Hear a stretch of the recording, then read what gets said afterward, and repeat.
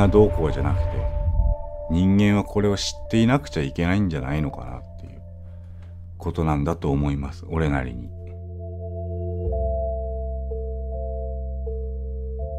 どっかにまだ生きてるよと思ってましたんでね当時は見つかってないですね。まあそれがきっかけで、まあ、ダイビングを始めて妻を探そうということでねダイビングを始めまして。もし自分のことをこう思い出してお墓参りとかでも来てくれるっていう人がいた時にそういう人たちが来る場所もなければならやっぱそうしてあげたいっていうか見つけてあげたいっていうなら見つかればああやっと戻れるんですねってよかったですねっていう気持ちと全国のバイク乗ったりその入れ墨入れたり少しちょっとこうなんていうのかな普通の社会の人たちからは嫌悪されてるようなやつそいつらが全国から物資を集めて。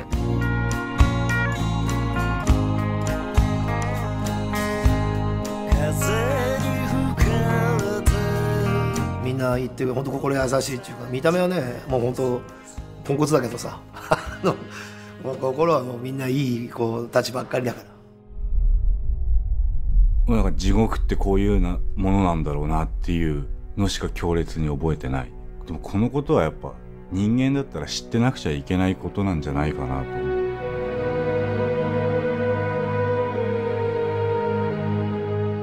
高松さんのこの奥様への深い愛情っていうものは本当に私もこうどう言葉に表していいかちょっと素晴らしいなという思いではいます？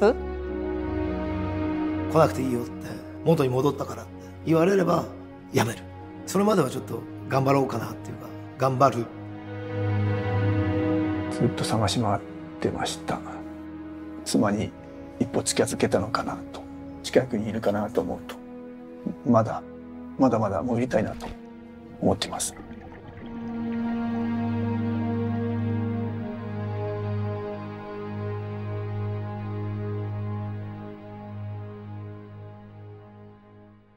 Buongiorno a tutti, oggi siamo collegati con Roma, ospite dell'Altro Giappone è il regista Lorenzo Squarcia. Siamo qui per presentarvi in occasione del decennale del terremoto nel Toco il suo straordinario documentario Koi. Koi in giapponese significa carpa ed è già bellissimo il titolo. Girato nel 2017, è stato presentato due anni fa al Japan Festival di Los Angeles e al Buffalo International Film Festival e ha poi vinto il Mosaic World Film Festival. Regia e fotografia sono di Lorenzo Squarcia e la sceneggiatura è sempre di Lorenzo, Simone Spampinato e Manuel Greco. E dall'anno scorso è disponibile su Prime Video, iTunes, Google Play e Vimeo On Demand. Il film secondo noi è molto interessante e anche particolarmente coinvolgente ed è quindi con piacere che salutiamo Lorenzo Squarcia. Ciao, grazie. Eh, intanto ancora complimenti per il film perché è veramente bello. Eh, la classica domanda, come è nato questo progetto e, so- e, soprattutto come hai trovato i due protagonisti princi- principali di questo documentario? Allora, ehm, di base è nato tutto quanto grazie a una ricerca che io stavo facendo per la mia tesi di laurea eh, in accademia eh, io ho studiato cinema, quindi al terzo anno, quando appunto mi sono ritrovato a um, decidere cosa fare per la mia tesi, mi ero interessato più o meno su tutta la vicenda del disastro di Fukushima e, del, um, e dello tsunami.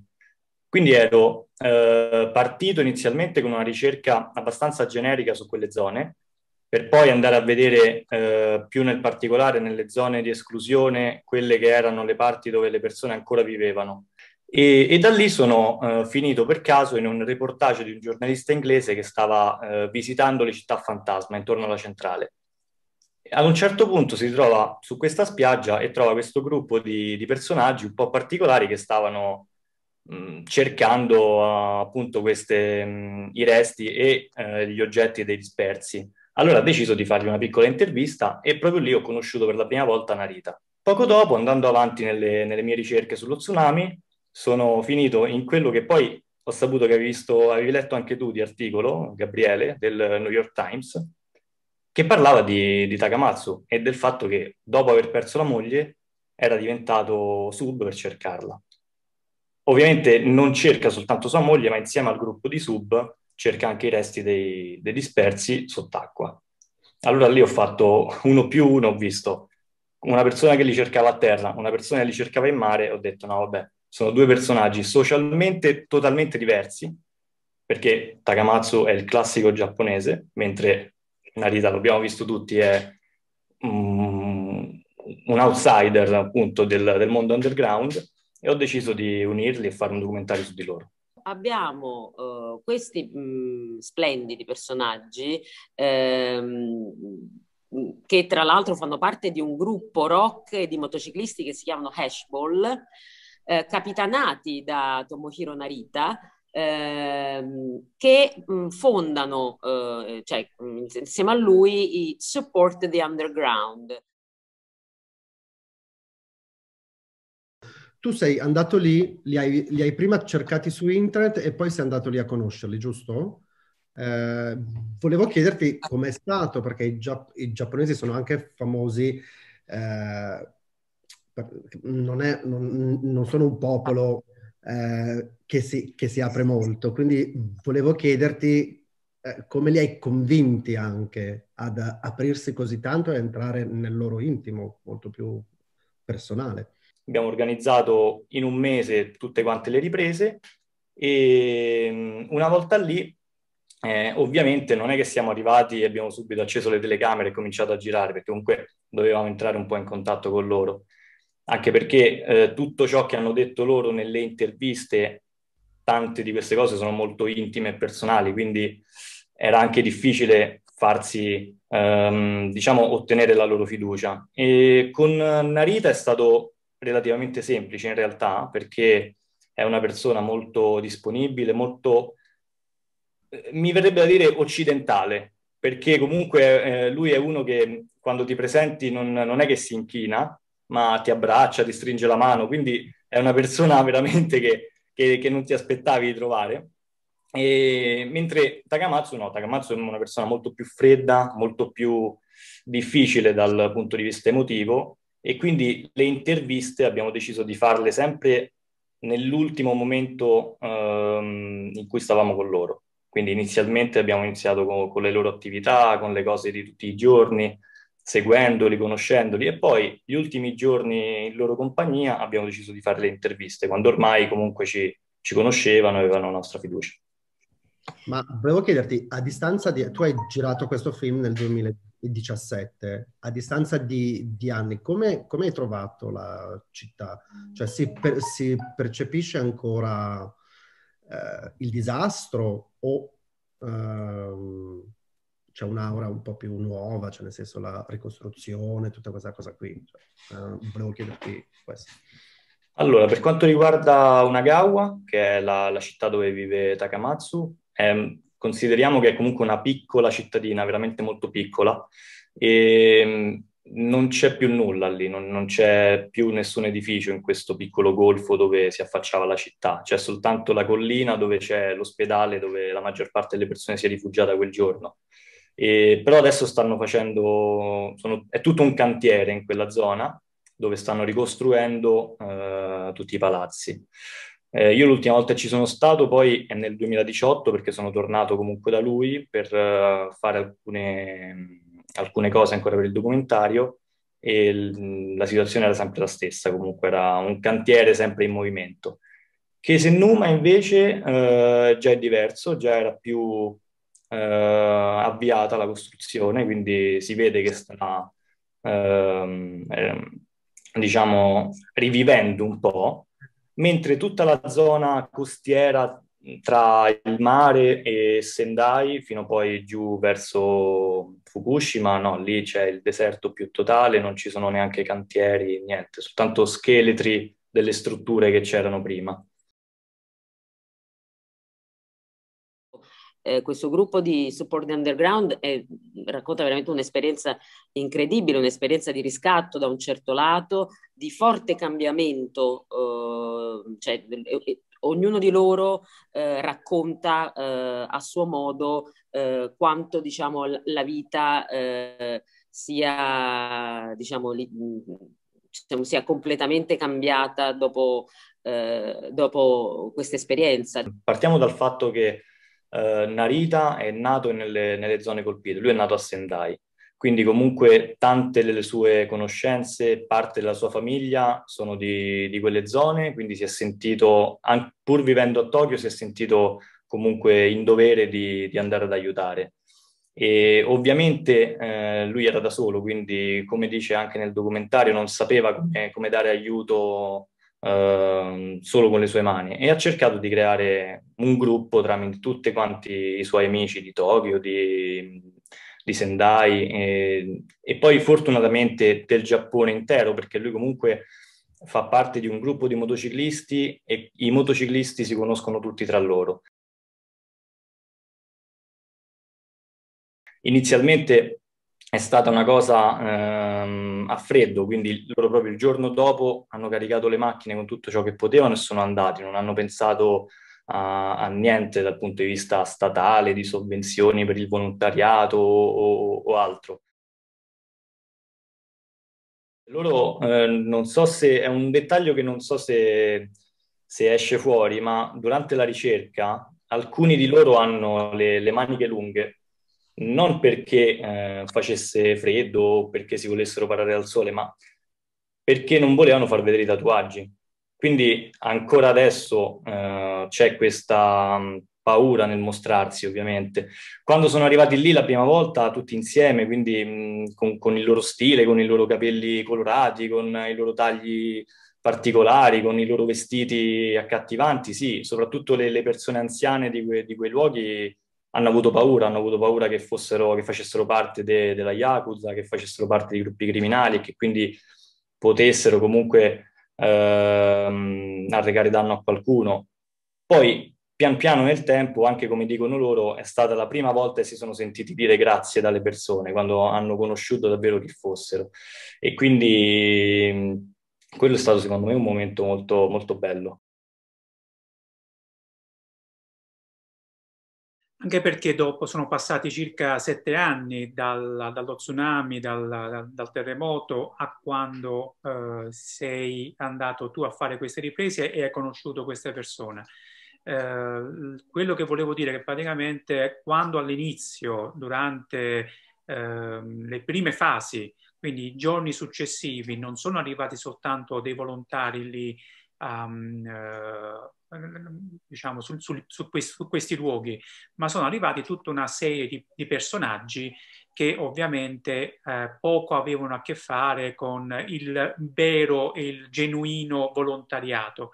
Eh, personaggi appunto legati alla malavita organizzata che hanno approfittato della, della, del momento di, di diciamo, la, della situazione di emergenza per poter derubare quindi in effetti eh, eh, la loro paura, credo che la loro paura fosse innanzitutto per quanto riguarda questo tipo di personaggi che anche in Giappone si sono presentati, ma certamente non hanno, eh, dopo sette anni, hanno visto le, le, le stesse persone che, che, andavano, come tu hai detto prima, ogni mese a fare, delle, a fare gli scavi, a fare queste ricerche, come tale si sono, in qualche modo hanno cambiato il loro eh, punto di vista su queste persone, soprattutto sul, sulla persona di Narita e sul gruppo di Narita-san. Noi abbiamo anche un altro ospite eh, oggi, eh, una, nostra, una nuova amica dell'altro Giappone, si tratta di Minori Shimizu, un, una traduttrice, interprete, ma anche un'artista. E ehm, ci abbiamo tenuto a, ad averla qui con noi perché lei ha visto il documentario praticamente quando noi eravamo entrati appena in contatto con Lorenzo e ne era rimasta particolarmente colpita. Vive in Italia da tantissimi anni, eh, ma è legatissima al suo paese ed era in Giappone, se non sbaglio, al momento del, terre- nel momento del terremoto. Vero Minori, è così? Sì, sì, sì, io sono stata 11 marzo 2011, sono stata in Giappone. Eh, io sono zona, zona Tokyo, Saitama comunque è zona Tokyo, quindi ho sentito tantissimo questa scossa. Ho visto subito, immediatamente, ho visto tutte le immagini che trasmettono il televisore, una scena di tsunami che sta la, colpendo quella, la zona, che è veramente terrificante. Sono veramente colpita, molto colpita, anche perché eh, un conto, cioè, mh, proprio a, a, entrare così uh, intimo, diciamo intimo, eh, da una regista italiano e soprattutto mi sono particolarmente colpita signor Takamatsu che sta cercando ancora la sua moglie o la oggetti o qualcosa che appartiene a sua moglie dopo tanti anni imparando sub. Giustamente Minori è rimasta colpita proprio dal, da una delle due storie principali. C'è un, un altro momento sì. uh, che è particolarmente, eh, diciamo, particolarmente difficile e tragico proprio da, da, da, da guardare e anche da commentare, ehm, a Okawa, eh, una famosa scuola in cui sì, perdono sì. la vita 74 bambini e insegnanti. Il padre di uno di questi bambini spiega che eh, praticamente eh, gli insegnanti hanno fatto radunare i bambini, diciamo, nel piazzale mm. della scuola e attendevano eh, istruzioni. Sì, sì. Eh, avrebbero potuto salvarsi andando, uh, rifugiandosi nelle colline che erano mm, dietro. Pre- subito dietro, uh, uh, ma poiché non avevano ricevuto nessun tipo di, eh, di, istruzioni sono rimasti là. E quando hanno deciso di scappare era troppo tardi. Ora, quello che io volevo chiedere a minori, um, per, perché può, può, accadere una cosa del genere? Mi dispiace, però non so perché in quel momento forse non, ha, non hanno avuto eh, questa decisione più mh, mm, indipendente. Diciamo che anche se non arriva una comunicazione istruzione, noi facciamo quello che ci crediamo, no? In quel momento loro non hanno avuto. Però io faccio un altro esempio che veramente allora, un esempio che ho detto con, da molto commossa. C'è una scuola di Iva, Ivate, scuola element, eh, media di Ivate, dove so, è stato colpito anche lì eh, da tsunami, praticamente studenti di scuola media, quando poi dopo la terremoto hanno saputo che stanno arrivando poi tsunami, loro si sono, prima di scappare loro, proprio studenti, quindi di media, quindi saranno da 13-15 anni, si sono ricordati che stessa proprio vicino a loro, da 200 metri, c'è una scuola elementare.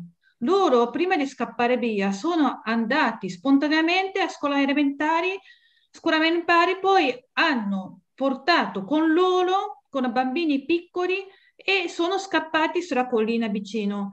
Quindi questo è una, uno dei esempi miracoloso che questa decisione di studenti me, di, scuola media, che eppure sono piccoli, perché saranno 13-15 anni, hanno avuto questa la, decisione da, tra, tra, di loro da soli e ha salvato anche bambini elementari che probabilmente loro sono rimasti lì se non, non, non, non si fossero arrivati eh, questi studenti media.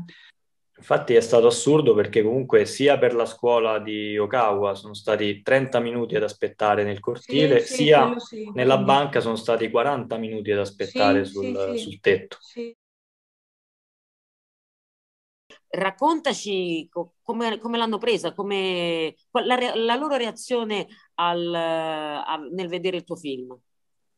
Allora, io eh, sono andato, loro il film l'hanno visto prima in realtà, prima che uscisse quindi appena finito il montaggio io mh, gli feci vedere, pare a novembre 2018, eh, sia a Takamatsu che a Narita una, una versione del film. E Narita è, si è commosso tantissimo e ha cominciato a piangere in un modo che non l'avevo mai visto. Infatti mi ha fatto anche impressione perché comunque lui è un uomo che sembra una persona dura, no? una persona forte, eh?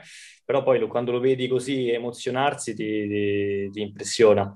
Takamatsu anche comunque alla fine eh, si è emozionato perché è comunque una persona, è comunque un essere umano e quindi pur cercando di nascondere il più possibile le sue emozioni, un pochino non ci è riuscito. Era un ex militare, insomma, giusto? È un ex sì, militare sì. dell'aeronautica della, dell'esercito, sì. dell'aeronautica giapponese, che poi era in pensione, mentre Narita San appunto era è, è, è il proprietario di questa, di questa, officina. Ma che moto ha lui?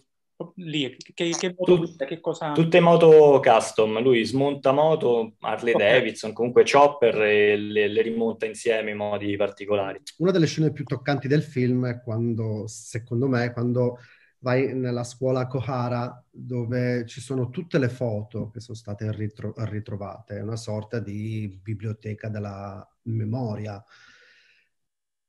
Sembra quasi che siano lasciate lì volutamente tu, eh, tu hai capito come, come funziona, eh, cioè come loro arrivano al, proprio, al proprietario della foto o dell'oggetto? Sì, sì, allora tutto quello che non è riconducibile ovviamente viene eh, accatastato, catalogato e ordinato eh, in una di quelle stanze come si è visto lì nel documentario. Tutto ciò che invece è riconducibile, come può essere un cellulare o un portafoglio con dentro i documenti. Ah, per esempio Takamatsu quando mh, si immerge e ritorna su, spesso quando vedo su Facebook che pubblica le, le, le foto di quello che trova, dice eh, oggi ho trovato questo e non abbiamo trovato ovviamente nulla che possa ricondurci al proprietario. E quindi quello è uno di quegli oggetti che va poi in, in una di queste stanze dove le persone possono andare e vedere se trovano quello che, che, che, gli appartiene. Le fotografie, per esempio, come abbiamo visto, eh, ci sono persone che vanno lì, sanno che ci sono le fotografie che magari erano dentro le loro case, ma che non le vogliono riprendere perché non, non ce la fanno a, a, ricordare, come appunto il, il signor Ito del, di Kesennuma. Eh, altre invece, non sapendo di chi sono, probabilmente appartengono a persone che non ci sono più e che quindi non verranno mai eh, riconsegnate, mai eh, riprese ed è affascinante come discorso. An- poi nella stessa scuola, quella lì che, che, abbiamo visto dove ci sono le foto, c'è anche la stanza dove ci sono mh, i resti umani, quindi le, le ossa. Solo che per entrare lì, per filmare lì, ci vogliono dei permessi particolari tramite la polizia e ovviamente non siamo potuti entrare. E quello ovviamente però è un altro discorso perché risalgono tramite le analisi del DNA e poi ricontattano se ci sono familiari in vita.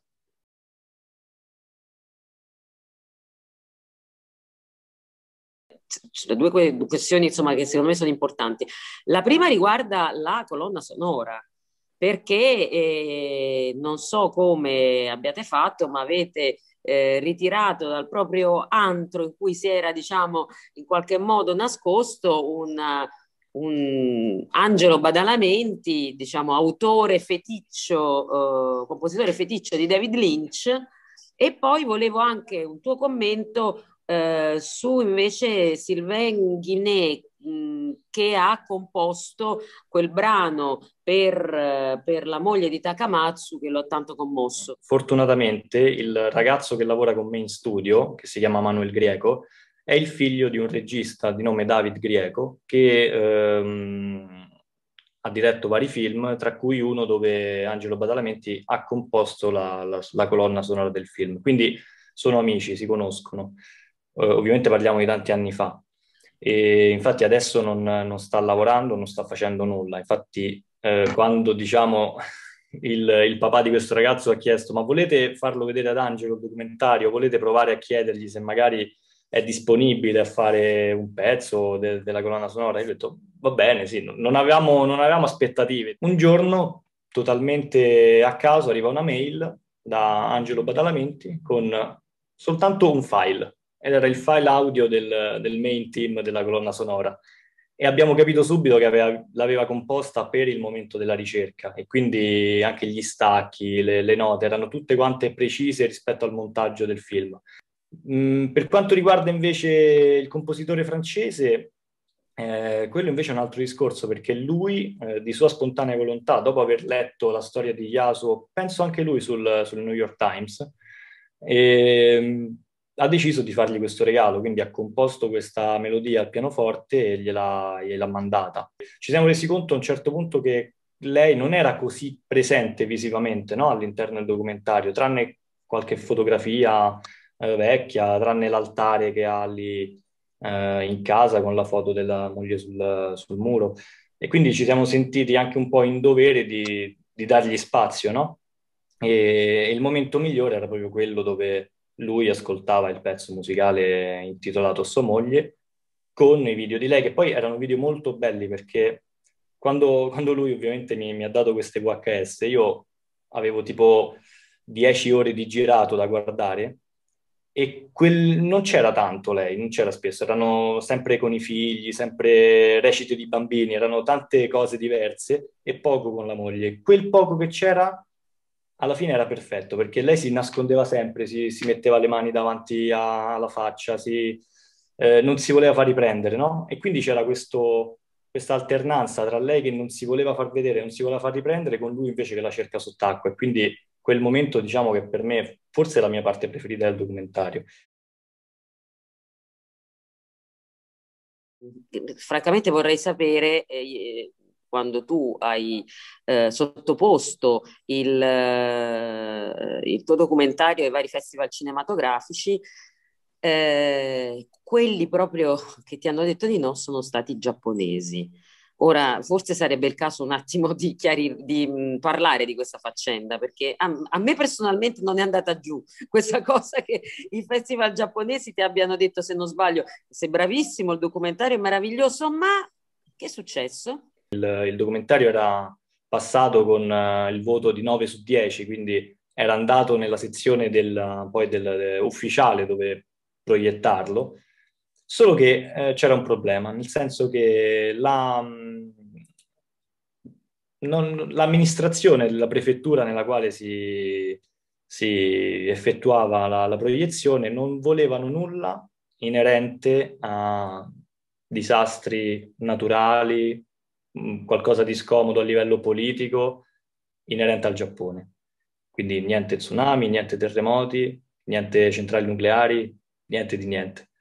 E quindi io sono rimasto un attimo così, anche perché comunque il documentario non è un documentario sullo tsunami, cioè io vorrei che fosse chiaro, nel senso il documentario è su queste persone, lo sono loro i protagonisti, non è lo tsunami, non è un documentario su cosa è successo, quando è successo e come è successo, è su queste persone e su come vivono oggi a causa dello tsunami.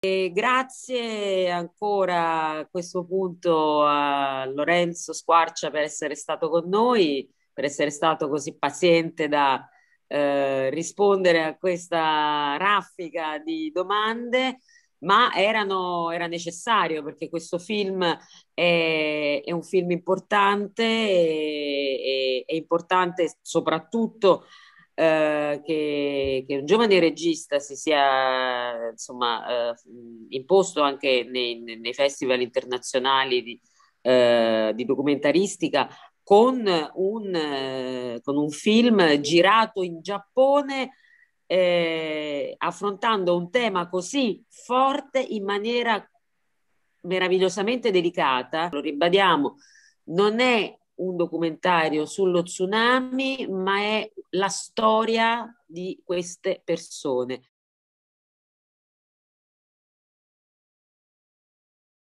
Da parte nostra un abbraccio e complimenti a Lorenzo Squarcia. Lorenzo. Grazie mille, grazie. Gentilissimi.